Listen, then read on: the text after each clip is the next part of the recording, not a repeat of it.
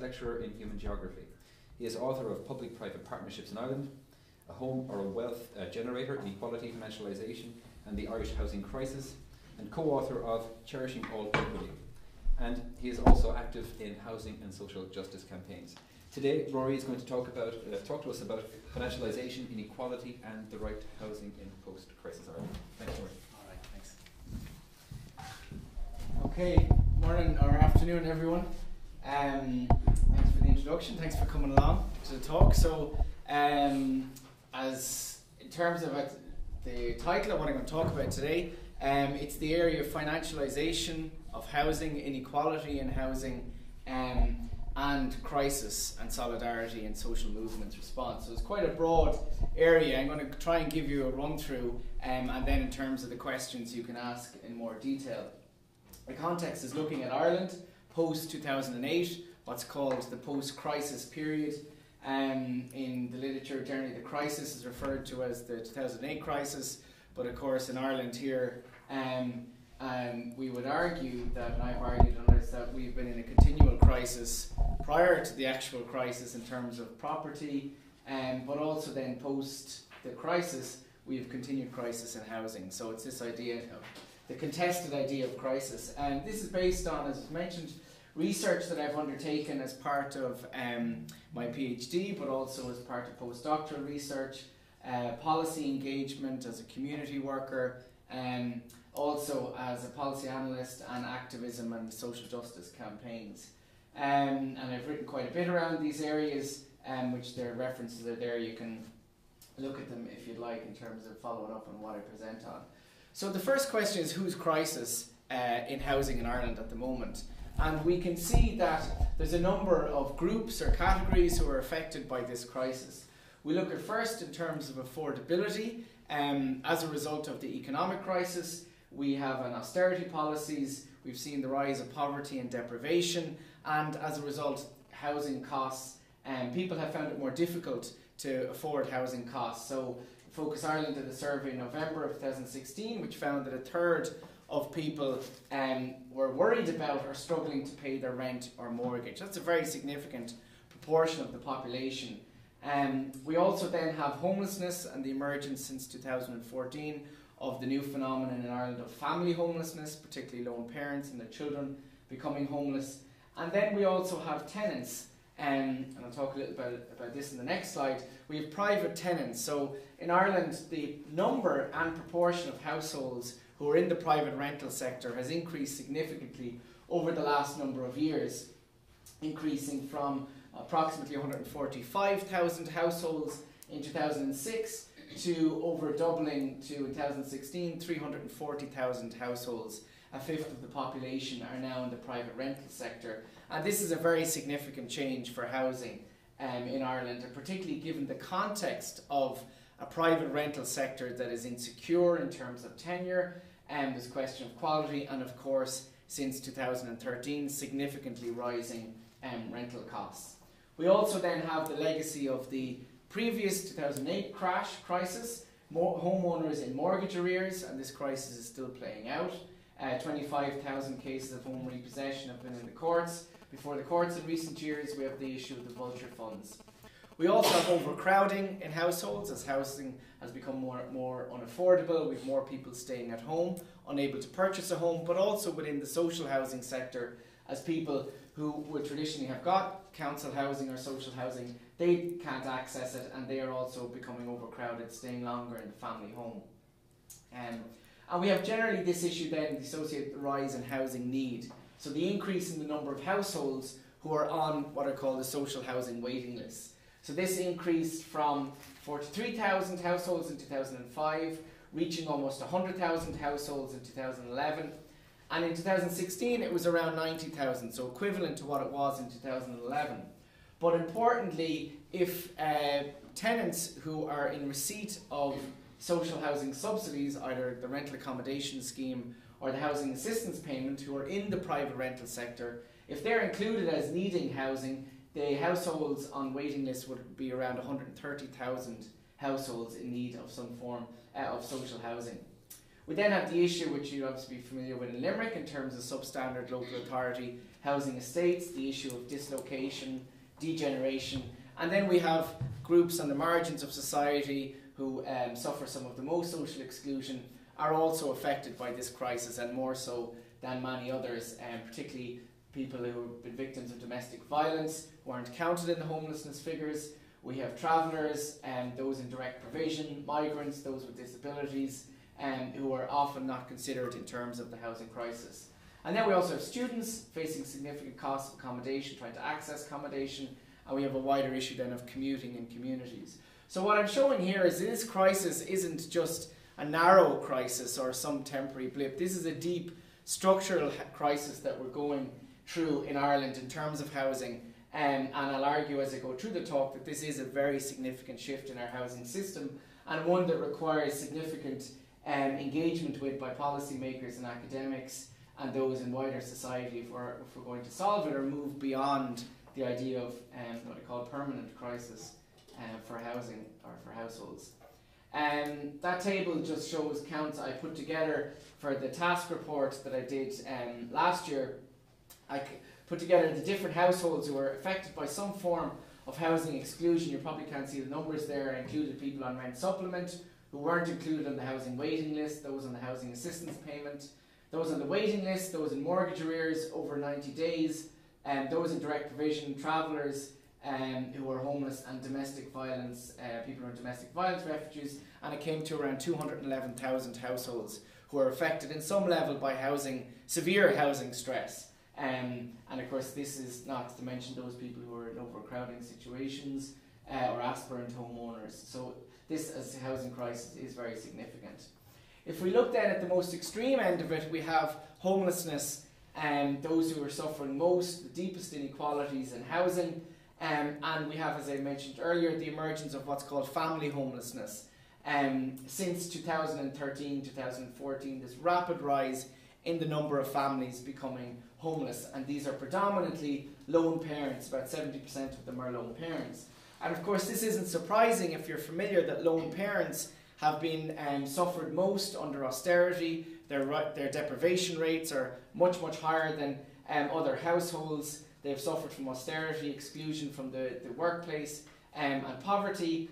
And the lack of social housing, combined with the lack of protection in the private rental sector, has led to this rise in homelessness and homeless families. We see it significantly in Dublin, and the latest figures um, that I put together just from this month or from last month showed that the number of, for example, families who are homeless in Dublin in over the last two years has increased from 769 families to over 1,191. In children, in terms of children, we see a rise from 1,500 children homeless in emergency accommodation from January 2016 to 2,500 in January 2018. We're now over 3,200 children homeless in emergency accommodation in um, Ireland.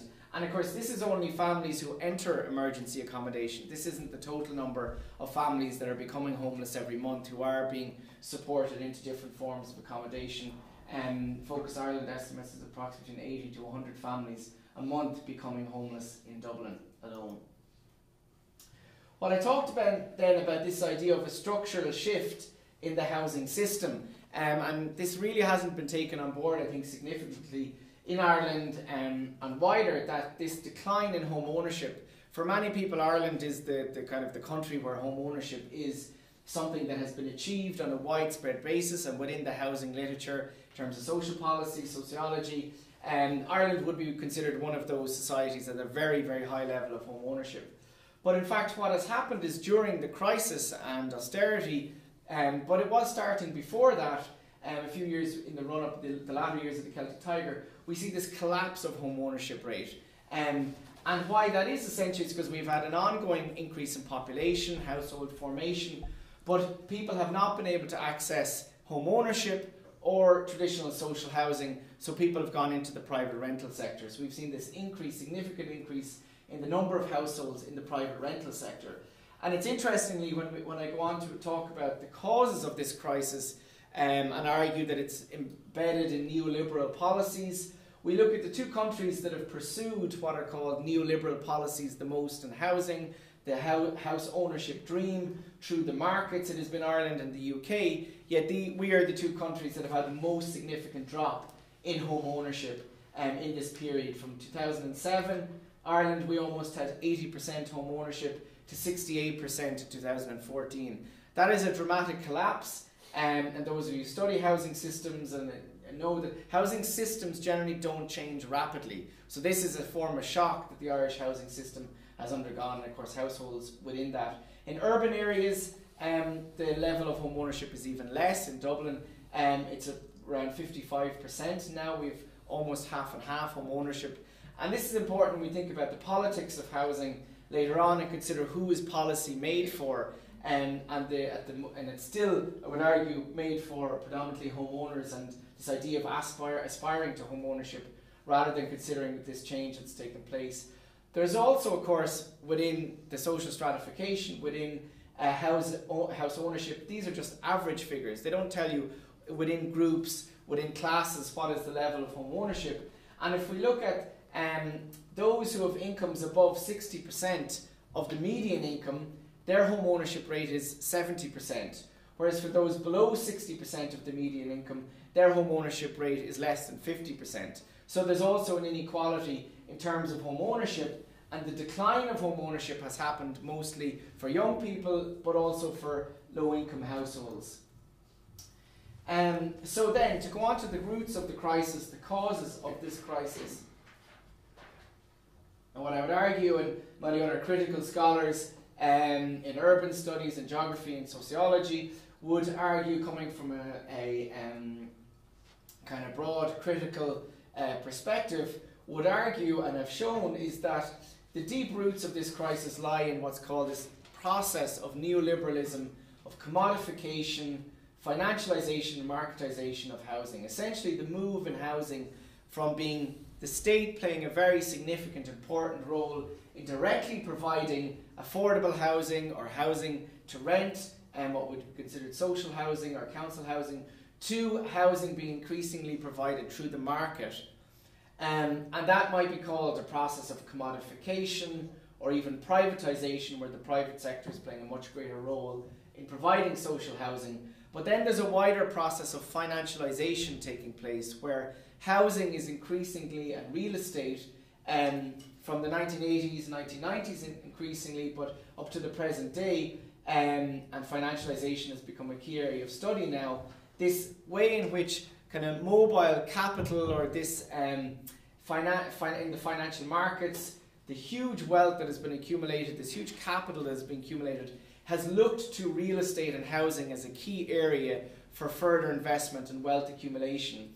So housing itself has not just been privatized, um, it has also been financialized. It has been turned into a commodity whereby financial institutions, finance can profit significantly from. Um, and there's various um, authors like Arrighi and Desiree Fields have written about this, and um, also Madeline Marcuse about what financialization actually is and the way in which um, sort of housing and householders become a asset and a commodity of the market. And of course, that's the broad kind of political economy explanation of the, the deep roots of this crisis. But what I show in, the in my research is how this has played out in Ireland, and we can see these trends and processes taking place in Ireland. If we look at, for example, um, social housing provision, we can see there in the bottom left the graph showing um, that's the, the production or building of social housing by local authorities um, in Ireland, the, the little red line down the left is where voluntary housing associations um, or not for profit housing associations are building social housing. And what we can see here is through the from the 1970s, and of course this happened even previous that from the 1930s onwards, the Irish state played a very significant role in building uh, local authority housing, um, and much of which was bought then by tenants through various supported home ownership schemes. It also gave out mortgages, affordable mortgages to people. And at the height of it, in 1970, I can't remember the exact year, I think 76, 77, uh, local authorities built around 7 to 8,000 social housing units directly. Then we had our austerity period in the 1980s where social house building collapsed um, as a result of cuts to budgets um, and the economic crash then. But then we see this increase in social housing building again through the 2000s. But at this point, social housing was a much, much smaller proportion of the overall housing that was built. So in the um, 2000s, we had 70, 80,000 houses been built a year. Social housing was only around seven or 8,000, or sorry, not seven, five or 6,000. So you're talking less than 10% of housing being built was social housing. So, and then we see the austerity period from 2010 onwards, where we have this effectively stop, stopping or cessation of construction of social housing in Ireland. The parallel process or how marketisation has taken place through social housing in Ireland has, has been this shift to the reliance on the private rental sector to provide social housing. So, um, and Rebuilding Ireland, which was the government's uh, flagship housing policy plan, released in 2016 as, um, as a kind of first overall comprehensive housing strategy, um, acknowledges this and it talks about this, a quote from it, where it says over the past 20 to 30 years, housing provision has moved from a model where a significant share of overall annual housing delivery was accounted for by direct provision, mainly local authority housing, often in large public housing schemes, with the remainder provided by the private housing market, to a model where housing provision has been predominantly provided by the private market and with social housing delivered thereafter through various rental sector schemes. And so what we see then is through the 1990s in particular, this increase in reliance on the rent supplement, which was a subsidy, a subsidy that low income households could receive in the private rental sector. It was only considered a short term support, it wasn't considered an actual form of social housing, it was a sort short term income support. And we see the numbers increasing, um, particularly in the run up to the crisis, but also through the, the latter years of the Celtic Tiger, as people unable to afford their housing in the private rental sector. Um, and what we see then is the emergence in 2008 of the rental accommodation scheme, which is another subsidy that tenants get in the private rental sector, but this time it's actually referred to as a form of social housing. Um, and we see the green then, what's called the housing assistance payment, which you might have heard some discussion about, also uh, subsidy to tenants in the private rental sector. But the significant shift that's taking place is that the rent supplement was only a short term income support, whereas the rental accommodation scheme and the housing assistance payment are considered forms of social housing. Um, and the 2011 Housing Policy Statement uh, has, includes this within it, where we see this redefining of what social housing is. From something that was considered as a permanent, directly provided by the state, to something that is much more temporary. Um, and I would argue later on that this is a reduction in what is considered uh, a form of the right to housing because the private rental is sector is insecure, it's not a secure form of housing, um, tenants can be um, evicted quite easily. So this is a significant shift in how social, what social housing is, but also how it's provided. Um, and we see here in this bottom right hand side, the, the light blue at the bottom is local authority completions, and we see essentially they disappear in 2010 and 11 as the austerity cuts to budgets really hit, um, and we see the reliance of the private rental sector to deliver social housing. And this is quite important when I go to look at explaining partially why we're in this crisis, because I would argue that this shift is actually a significant factorial explanation for the current housing crisis in the broadest uh, sense of that crisis. Then um, this Rebuilding Ireland then enshrines this policy further. Uh, we see that in terms of the numbers of, so Rebuilding Ireland plans to provide um, 134,000, as it's called, social housing. Now it refers to them as solutions rather than units over between now and 2021. Um, the majority of those, the overwhelming majority of those, are to come from the private rental sector in either the housing assistance payment um, or in the private market through the rental accommodation scheme or Part 5 where you get it from private developers. Only 30% is actually social housing, even less than that is actually new build social housing. Um, so we see this whole area of how figures around social housing are manipulated. Um, So these were the austerity cuts to social housing, where I show, and um, this is from the TASC chapter again, that um, if the, the cut, when the cuts were happening and the reduction in the budget was happening, we see this reduction in the numbers. In 2009, there was 3,000 social housing uh, units built by local authorities, 2,000 by housing associations. There was 5,000 units built in that year. We see then 2012 it drops down to just 1,000 built, and in 2015 just 400 built. Um, over the period then, we see that if those austerity cuts hadn't taken place, we would have an additional 30,000 permanent social housing units built over that period. We wouldn't have a homelessness crisis that we have now um, if austerity hadn't happened. So when they argue that austerity worked, in actual fact, this is the result um, of some of the austerity decisions. Overall, then, these policies have led to a system, uh, a situation whereby when we look at the Irish housing system in comparative to other countries, we see that we've quite a low level of social housing. In Ireland, we've approximately 10% um, of our total housing stock is social housing. We look at other countries, for example, even England, 18%, but countries like Denmark, Austria, Scotland, Netherlands has 32% of its housing stock of stock is social housing.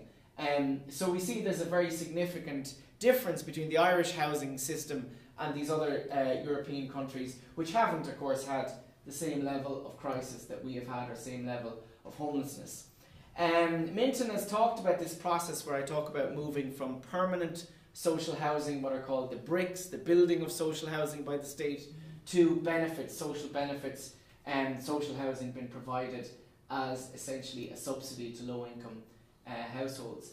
Um, the, the context is so I, where I make the argument is that this strategy uh, of this marketisation of social housing, the reliance on the private market, actually worsens the private market crisis because, um, and you're well aware that we do have this wider uh, crisis within the private rental sector, for example, but also within the private housing system as a result of the crash, the lack of new building um, by developers, and the lack of supply in the rental sector, but also um, the increasing purchase. This uh, graph that I drew out is from the CSO. It shows the purchase of housing by non um, household owners, and we see from 2014 this increase in non-occupier purchasers. From 2014 onwards, there was increasing housing being bought in Ireland as an investment, um, as of course rents rose, um, and by vulture funds, but also real estate investment trusts.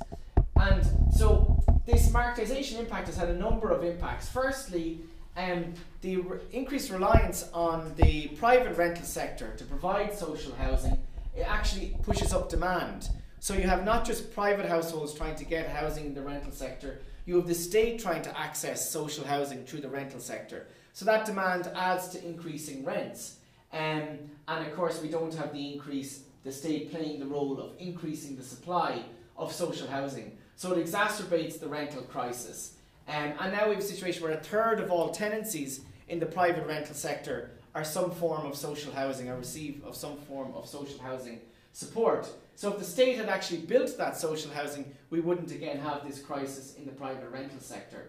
Um, the other issue, of course, and I'll talk about this later in terms of um, the value for money, is we have the, the those subsidies as rents rise have to keep increasing. So the state, in order to ensure people can keep accessing housing, have to increase the subsidy that they're giving. And um, so it's this increase in cost.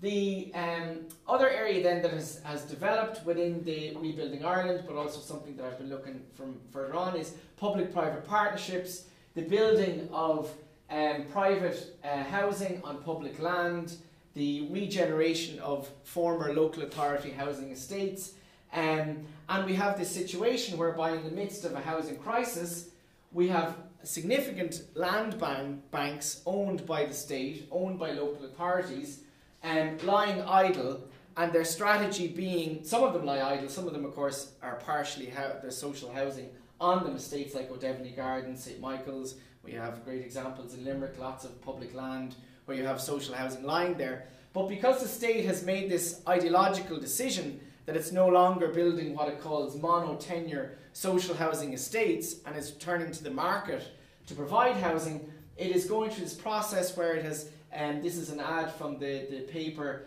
uh, last year from the newspaper, put in the national newspapers, I assume international papers as well, by Dublin City Council, advertising these three land plots to developers to see if they're interested in building on it. Of course, one of them um, actually has some social housing on it already, but they're still in the process of trying to engage developers. Are they interested? Are they not? Again, rather than just building on it, the state is engaging in this complex process which financializes that, that public land because the land is then dependent on what is built, becomes dependent on what financial investors and developers are interested in building, and not actually um, what is necessarily needed. So we have this crisis, this, this process, as I was talking about earlier, financialization, where housing uh, investors are increasingly interested in housing as an investment asset. And what's interesting is pre the crisis, that was generally through mortgages or lending to home ownership. But post the 2008 crisis, it has become the rental sector, has become the private rental sector, has become a key target for global finance, global investors um, to invest in the real estate sector. Um, and what we see is that Ireland has used this process of financialisation as a key strategy for recovery. So, a lot of the time when we see this discussion in the public domain around the housing crisis, how did we get here? It's like almost this natural disaster that just happened to us. In actual fact, this crisis results, results directly from government policies that have been pursued, but not just pursued and they're an accident or a you know kind of collateral damage, the policymakers knew what was going to happen. It was intentional because the two things that were key to considering achieving the Irish recovery was NAMA and the Irish banks. The Irish state decided and wanted to get rid of and wind up NAMA as quickly as possible, particularly with Fine Gael under government and Michael Noonan, that strategy uh, really became embedded. One of selling off the properties, and to do that, um, the, uh, the necessity was to attract in foreign investment. And a big part of that was to attract in foreign vulture funds who were increasing in buying up these assets. And um, so they brought in those vulture funds. They brought in, for example, the real estate investment trust, big investors in private rental provision, and they provided a tax exemption to real estate investment trusts in 2013. Michael Noonan, this is a quote from him in the Dáil speaking at the time, who was the Minister for Finance, said, this exemption was brought in to facilitate the attraction of foreign investment capital to the Irish property market. They wanted investors to come in, buy up these distressed assets, the land, um, and take them off the balance sheets of the banks so that the banks then could be sold off and Ireland is deemed in recovery. NAMA could be wound up to show externally to the markets Ireland is in recovery. This was the prioritisation, it was a political decision to prioritise it was a strategy to use what I call a process of refinancialisation of Irish housing um, in order to achieve this recovery, and of course, the crisis results from that. Um, and we see then, post interestingly, post 2013, that the narrative shifts and the justification of bringing in investment into property um, rather than the state doing it, um, and the justification of this tax break to real estate investment trust is to increase supply because suddenly we have this now this housing crisis around the lack of supply um, and so to to increase it. But of course this crisis now is still playing out now in terms of the vulture funds, for example, buying up uh, mortgages, buy to let mortgages, homeowners, renters facing eviction, um, and also the land hoarding is a big issue. NAMA has said publicly that it sold significant amounts of development land that it had it sold them to investors like Lone Star, um, and they gave specifically land that had the potential to build up to 20,000 housing units, but just 5% of that land is being built on. So we have this process of land hoarding because of these vultures, speculators, there for them, their land is an appreciating value and it's appreciating asset, they're under no pressure to build. Um, I'm just very conscious of my time, so I'm going to move on um, to a little bit about homelessness and family hubs. Um, I've, as part of this postdoctoral research I've been engaged in, has been looking at uh, homeless families' experience of this private rental subsidy, the housing assistance payment, um, and the family hubs, the new family hubs that have been developed. We've used what's called a participatory research method. It's based on human rights and capabilities approach, which um, promotes the participation of people who are directly affected by vulnerability or poverty in the research. Um, we engage them in process of as well. It's about trying to change policy. It's engaging in action. And um, so we worked with peer researchers who were formerly homeless, three peer researchers, and we engaged um, a number of up to 12 families in a family hub over a 10 week period where we worked with them each week. We talked to them, we engaged with them, and developed an understanding of what is the human right to housing, the idea of their rights, and then we tried to work through with them what was their experience of the housing assistance payment.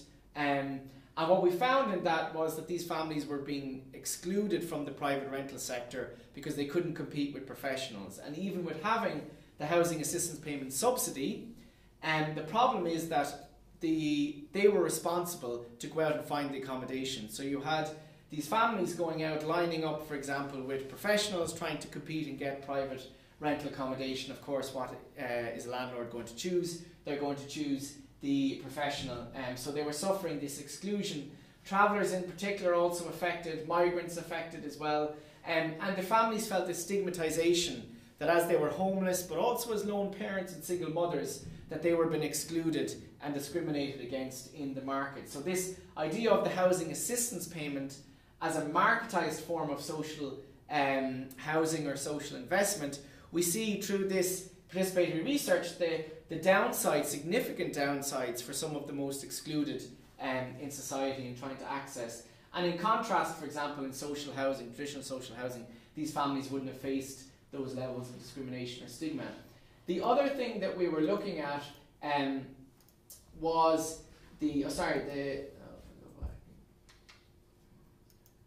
there we go. The other issue that was very interesting that came up in the research was what is called uh, the concept of tenure security. That the families were really reluctant to take, they were really reluctant, they did not want to go into the private rental sector to use the housing assistance payment. Um, and policymakers have talked about this, and we've heard reference in the media. Conor Skehan from the Housing Agency and others have talked about this uh, the gaming of the system by families, by homeless families, for example, being offered accommodation, turning it down.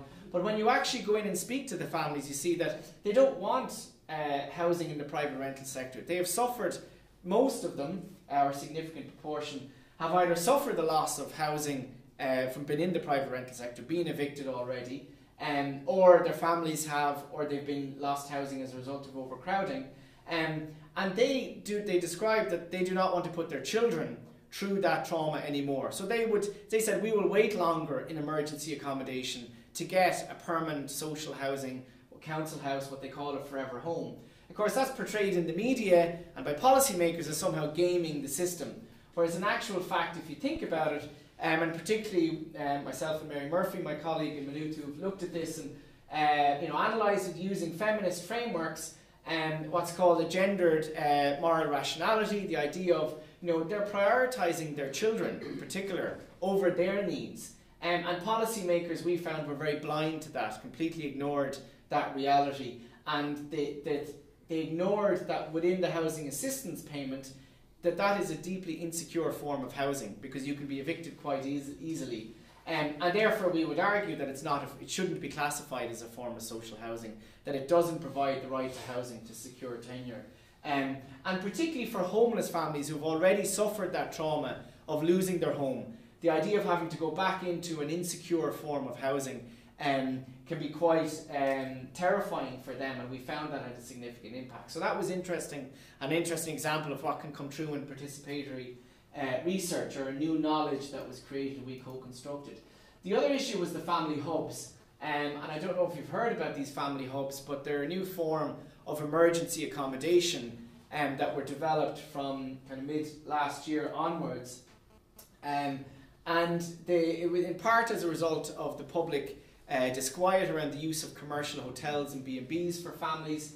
And these hubs have been developed for kind of 40 to 50 families. Some of them are in formal religious institutions, some of them in former warehouses, some of them hotels and um, being re, uh, refurbished or reorientated. Um, and the dominant portrayal, again, by policymakers and government um, has been that these are a positive development, that these give families a chance to recover, a chance to um, you know develop and hopefully get a home. What we found, in fact, that family hubs are in many ways not very different from hotels. In some ways, they're worse than the hotels because at least in the hotels, the families had some autonomy themselves to make decisions to go and come when they please. Whereas in these effective form of institution, they don't have that same freedom. They have to sign in and out, and there's necessarily rules and restrictions on, um, for example, for example, family engagement, co-parenting. Like for example, not even co-parenting, but families playing with other children because it's all about child protection, understandably. Um, and so what we found was, and the, the, the, families talk about this again, they talked about it, it wasn't actually our intention of the research, but the families at each of the sessions kept talking about their conditions and how they felt. Um, and essentially what we found was that the literature that talks about emergency accommodation and its detrimental impact on families and children, their well-being, we found the same um, processes, the same impacts affecting these families. So essentially, we argue then that family hubs should be seen as no different than emergency accommodation. They shouldn't be somehow seen as something better, and they will be and are as damaging as any other form of emergency accommodation on families and particularly children. Um, I'm going to move on now. So, um, oh yeah, the poor value for money. Um, the the housing assistance payment we've done some analysis on this, um, and it's, it's logical if you think about it. The, in a social housing, traditional social housing building, the state pays money to a private contractor or whoever, and they build a social housing house. It belongs to the state. The state gets rent from the tenant, um, and they have that into perpetuity. They have an asset, and they can also use to borrow off. Um, in the private rental sector, the state is giving money to a landlord. That money is essentially going to the landlord. The landlord accumulates that asset, they accumulate the wealth. Of course, the state is getting a service for that, but it is not accumulating an asset like it does in social housing. Um, and similarly, um, it, it, we've calculated that if you think about the, the terms of the rent that I talked about, that rent, they're paying a significantly higher rent to the private sector than if the state built that housing and borrowed it itself.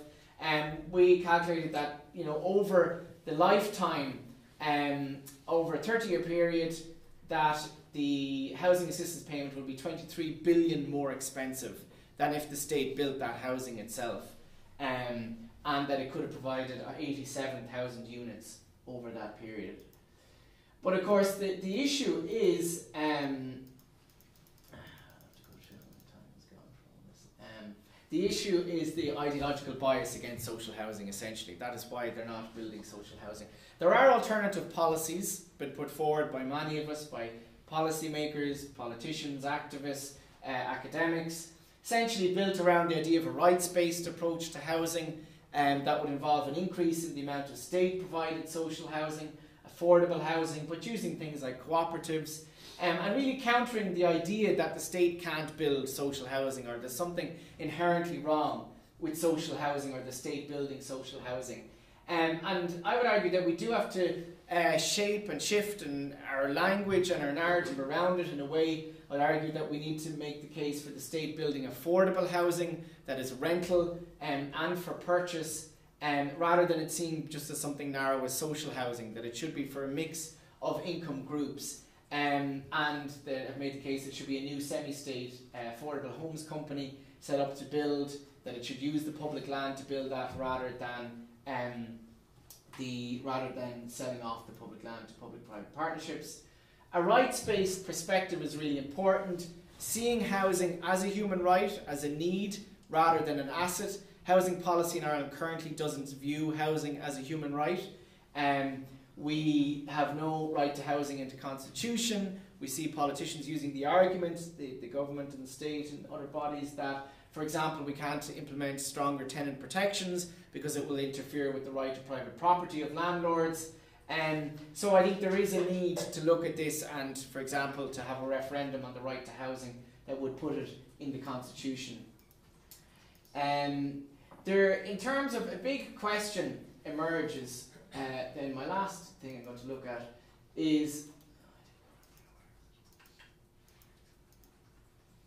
yeah, um, the big question that's come up then is if we're in four years of a crisis, a deep crisis with so many households affected, why do, have we not seen a protest movement? Why have we not seen um, a, as I argue, you know, where is the housing bracket water movement? Where is the water movement of housing? And a lot of people are asking this question, and academics, um, activists, you know, where where is the housing movement?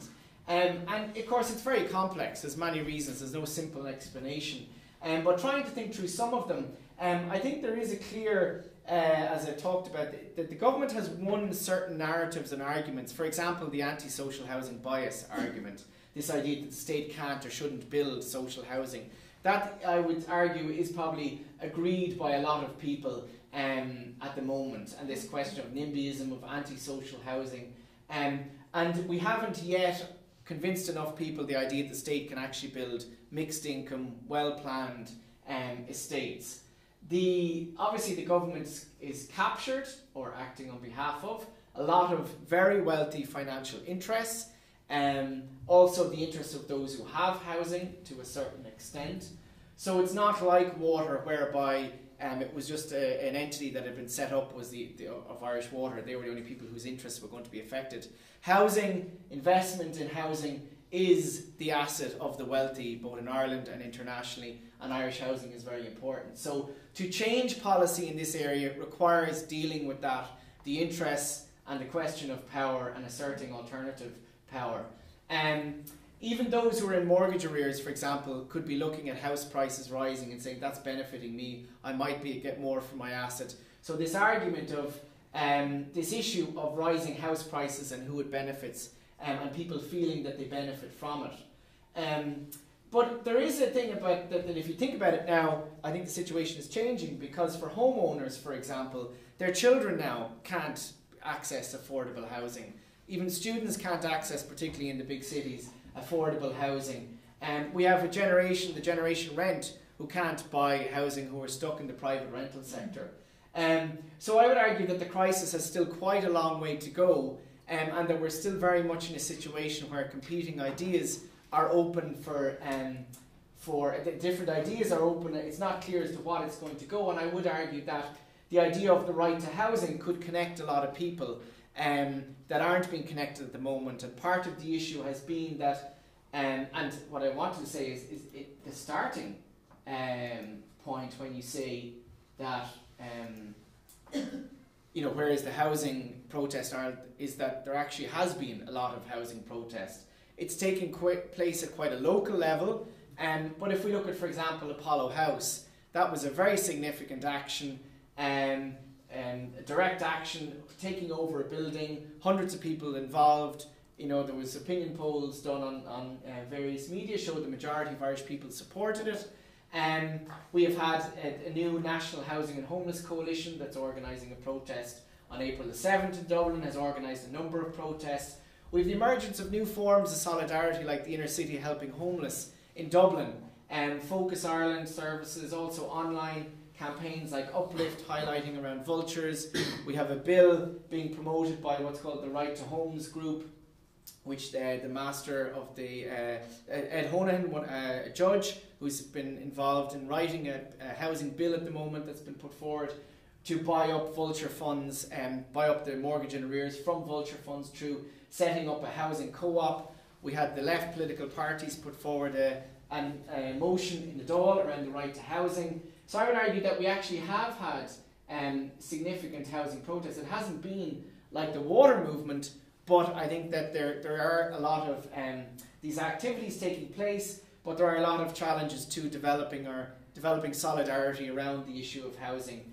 Um, so I think it's very much a story that still has to run. And I'll finish there.